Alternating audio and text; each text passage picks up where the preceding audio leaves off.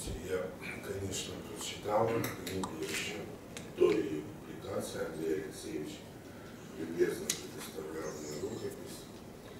А Мы с ним потом много спорили, разговаривали об этом тексте. Он очень а, не оставляет равнодушным, всколыхнул меня. А, Я хочу сказать, что прежде всего это очень хорошая литература.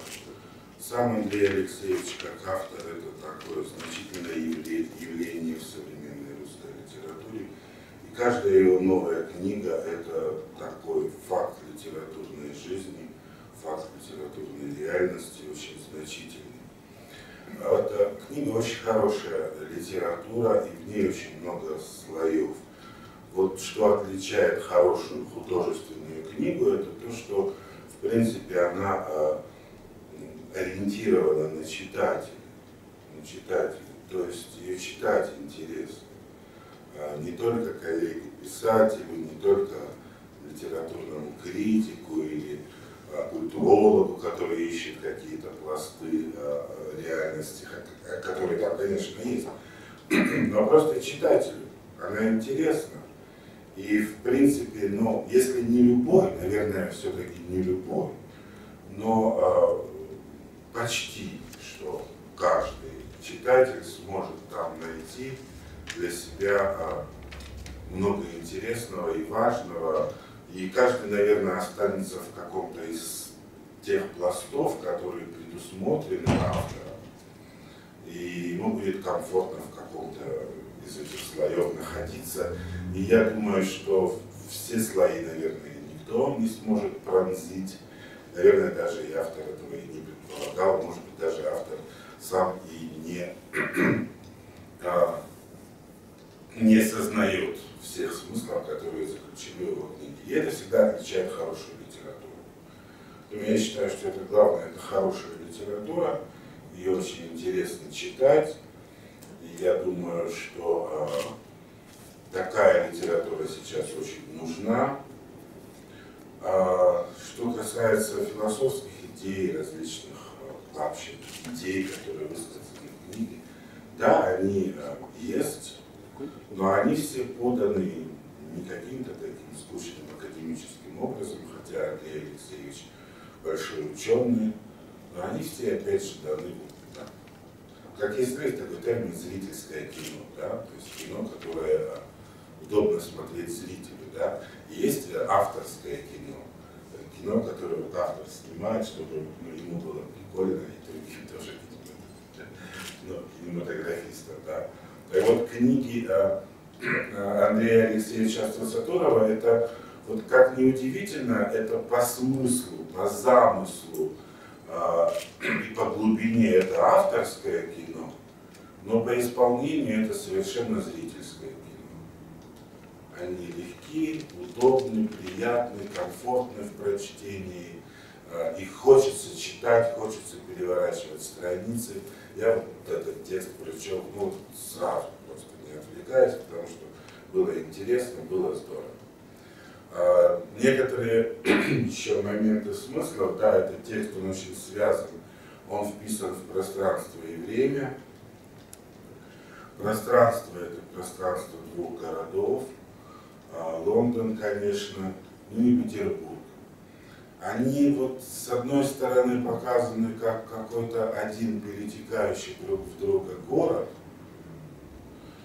и ведь э, вот э, путешественник по Европе, он часто не может отделаться от э, такого ощущения, когда переезжаешь с Петербурга в Париж, в Лондон, что-то рифмуется постоянно, что-то рифмуется в линиях набережных, улицах, в домах, что-то постоянно рифмуется. И такое впечатление, что мы вот в этом огромном э, э, городе пост Европы находимся, где бы мы ни, где бы мы ни были, да, и когда вот у нас в Петербурге э, солнышко поднимается и пригревает чуть-чуть, выходишь, потому что Париж. Потом солнышко скрывается, и думаешь, нет, Лондон. Мы все, мы, мы все находимся в какой-то вот одной, какой-то в каком-то одном стихотворении мы все находимся. Но с другой стороны, они противопоставлены. Они противопоставлены, и Петербург взят еще в таком удивительном для него, очень характерном времени. А, но это время, оно не историческое, скорее это такое циклическое, мифологическое время. Он взят там во время вот этой петербургской зимы.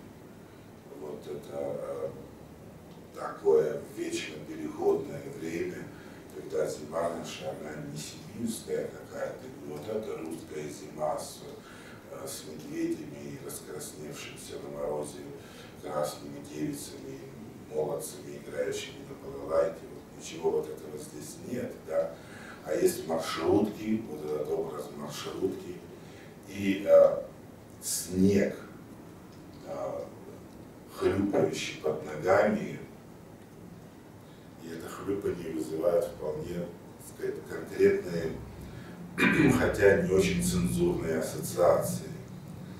А, и вот с этим образом хлюпающей, э, хлюпающего снега Петербурге связана еще одна тема романа, о которой Андрей Алексеевич осторожно не упоминают, наверное, не, не хочет дразнить великан. А, это тема феминизма, которая присутствует а, в книге. Причем нельзя сказать, что автор, либо даже сам герой имеют какую-то по этому поводу позицию. Да? Она скорее выводится как такой элемент абсурда. Да? Такой элемент гротеска и абсурда. И она а вот совершенно по-разному эта тема звучит а, а, за границей, где герой говорит своей партнерше, что сказать, в плане секса ты должна использовать пассивные конструкции, ты же женщина, ты же женщина потому что она использует активные, активные конструкции, рассказывает своих сексуальных отношениях. она использует пассивные конструкции, это звучит очень смешно, тем более в контексте. А потом мы переносимся в Россию, и видим вот другой такой совершенно феминизм. Мы видим вот этих женщин, а, которые коня на скаку, на скаку останавливали, входили в горячие избы, мешают столовой огромным половником э, э, борщ. И, и вот мы как-то не понимаем, как, как это может быть применимо к э, ну, концепция такого феминизма европейского и западного, как она может быть применима в России, где женщина и так была царицей и хозяйкой этого мира и общества всегда. И непонятно, что, что, что же теперь должно произойти, и о каком, о, о каком там, я не знаю, патриархате в России может быть, может идти речь, когда в России никогда на самом деле этого не было. Мы видим образ России как женщины. Мы видим образ Петербурга как женщины. Мы видим образ вот такого женского времени, в которое попадает мужчина.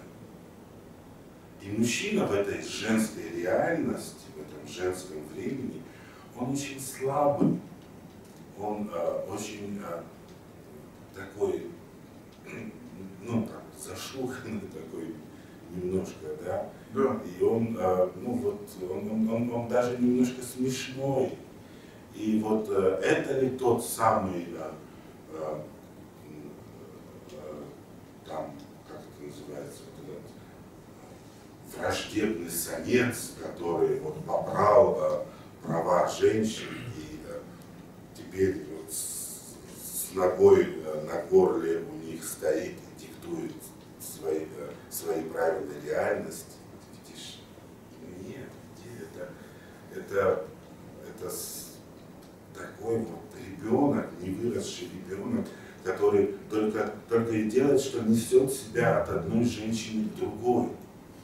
И полностью полагается на их волю а, и на их милость. Хотя это тоже не делает как-то его особенно счастливым, иногда он тоже как-то дует, но а, в конце концов бунт быстро подавляется. И вот это, мне кажется, тоже одна из... И я, я вот э, Андрея Алексеевича, мы раз, когда обсуждали его еще рукопись, ну, на этот момент он мне показался более таким э, нервическим, самым нервическим в книге. Это такое между полами удивительное. А, но вот Андрей Алексеевич не очень его выпячивает. Ну, это как в автора у него есть такое, да, право, чтобы не, видимо, чтобы, да, чтобы не дразнить пеликанов, потому что люди очень действительно такие тонкие и хрупкие существа, и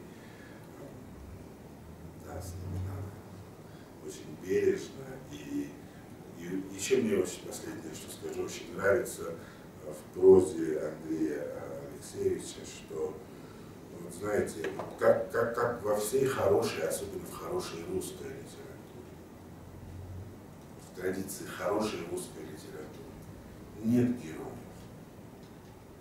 а, нет злодеев, а всех жалко. Просто всех жалко.